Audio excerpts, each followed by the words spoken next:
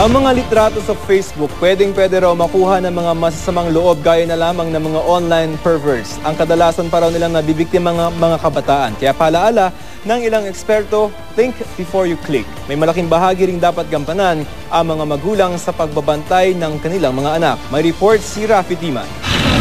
Milyon-milyong litrato ang ipinupost araw-araw sa social networking site na Facebook. Marami rito mga pribado sanang litrato. Pero ang mga ito nakukuha, kinukolekta at pinagsasama-sama ng mga tinatawag na online perverts.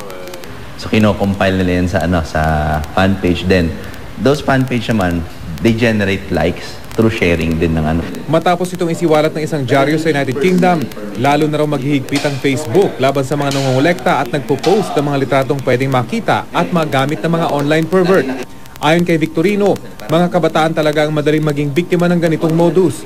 Marami raw kasi sa mga kabataan ngayon, naiingganyong gawing public ang kanilang Facebook page at mag-post ng mga sa tingin nila ay magugustuhan ng publiko, kilala man nila o hindi. You are announcing, you want people to see you, gusto kang makita ng tao. Pag in-upload mo yung picture, makikita ng lahat. Madali naman daw itong iwasan. May ilang panuntunan lang na dapat tandaan. Una na rito, ang istriktong pag-monitor sa online activities ng inyong mga anak. Dapat raw alam ng mga magulang ang password ng kanilang mga anak. Dapat ding tiyakin na hindi public ang kanilang account para limitado ang makakita ng kanilang posts. Ang pamilya prinsipe, ganito raw ang panuntunan sa kanilang tahanan. Ang settings nila tinitingnan ko. Settings ng Facebook. Kahit nasa trabaho ako, nakabukas yan.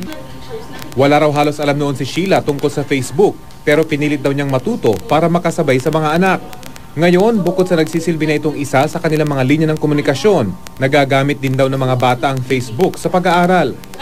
Eh, communication talaga ng magulang. Lalo sa akin, puro babae yung mga anak ko. Technically okay lang sa'yo yun. Nakunin niya yung password. Okay naman po kasi wala naman po akong tinatago.